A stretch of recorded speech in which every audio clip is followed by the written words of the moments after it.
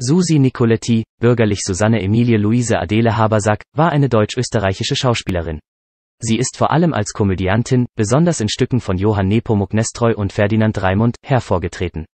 Jugend- und Karrierebeginn Susi Nicolettis Eltern waren die in Graz geborene, italienischstämmige Schauspielerin Consuela Nicoletti und der Reedereidirektor Ernst Habersack.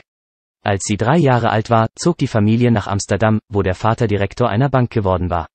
Bereits vor ihrer Einschulung begeisterte sich Nicoletti für den Tanz. Sie besuchte eine Ballettschule sowie Kurse in modernem Tanz.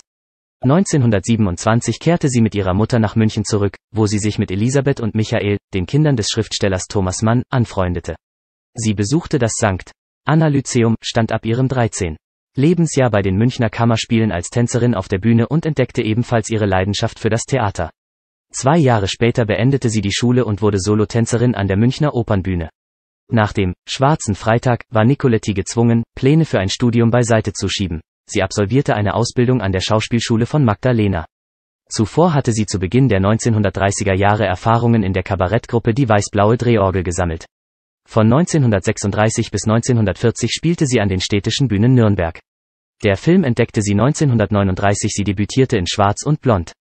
Wie 1940 ging sie nach Wien, wo sie bis 1992 Ensemblemitglied, ab 1983 Ehrenmitglied des Burgtheaters war. Von 1959 bis 1961 und ab 1992 wirkte sie am Theater in der Josefstadt. Ihr Debüt am Burgtheater gab sie in Hermann Baas der Franzl. Sie spielte hier über 100 Rollen. Sie war zunächst der Inbegriff des süßen Wiener Mädels mit Temperament und frechem Witz und entwickelte sich dann zu einer differenzierenden Charakterdarstellerin mit präzisem Gestus und großen Möglichkeiten im Komischen. Zu den wichtigsten Stücken zählen das Mädel aus der Vorstadt 1941 und 1961 der Talisman 1981 82. der widerspenstigen Zähmung 1950 der Biberpelz 1950 vor Sonnenuntergang 1963 64. Liebelei 1954 Das Weite Land 1978 in der Regie von Otto Schenk, Gira Udu Amphitryon 38 und 1955 56. Ein idealer Gatte 1961 62. und Bunbury 1976 77.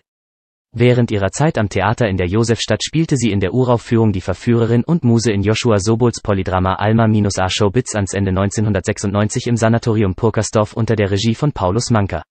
Zu ihren wichtigsten Rollen bei den Salzburger Festspielen, bei denen sie ab 1946 mitwirkte, zählen die Viola in Was ihr wollt 1950 Colombine in Goldonis der Lügner 1952 Marte Schwertlein in Faust I unter der Regie von Leopold Lindberg und Kressens in der Schwierige 1967 68 mit O.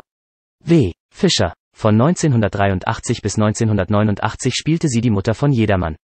Lehre und Film nebenbei arbeitete Susi Nicoletti auch als Tanz- und Schauspiellehrerin.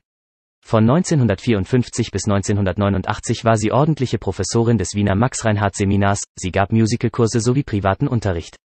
Zu ihren erfolgreichsten Schülern gehören populäre Künstler wie Heidelinde Weiß, Pia Duves, Ute Lemper, Senta Berger, Paulus Manker, Erika Pluha oder Albert Fortel. Nicoletti spielte über 100 Rollen in Film und Fernsehen, meist Komödien, unter anderem Hallo Dienstmann 1952 mit Hans Moser und Paul Hörbiger. Weitere berühmt gewordene Filme sind Mariandel, Mein Freund Harvey und Comedian Harmonists. Privatleben zunächst heiratete sie den Filmschaffenden Ludwig Petak, den sie bei den Dreharbeiten zum Film Mutterliebe von Gustav Utschitschki kennenlernte. Durch ihre Eheschließung mit dem Österreicher Petak erhielt Nicoletti Ende der 1930er Jahre die österreichische Staatsbürgerschaft.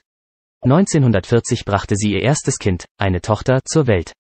Im Jahr darauf folgte ein Sohn, der in Europa und in den USA als Schauspieler arbeitete. Die Ehe mit Petak wurde am 3. Juli 1946 geschieden.